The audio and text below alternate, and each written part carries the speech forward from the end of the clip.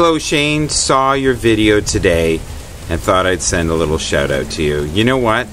In this life, there's going to be disappointment. There's going to be times when people don't fully understand you.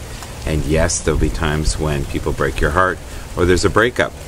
But the intuitive side of me is saying that this isn't over and that this is just a, little bump along the path. So keep the faith. Um, enter with grace, leave with grace.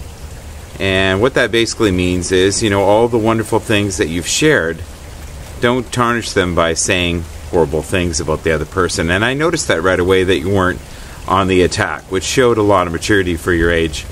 You know, there's a lot of people my age that become completely ravenous and, you know, that person's a bitch and how dare they do this to me and don't they know how much they've hurt me and I don't know all the circumstances of your relationship, but it's wonderful that you're taking this approach of being kind and understanding.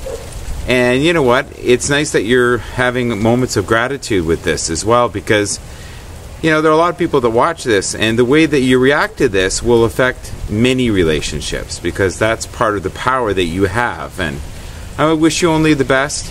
Keep shining your light, keep making those great videos, and keep making people happy, healthy, and inspired. Merry Christmas, my friend, if I don't talk to you before then.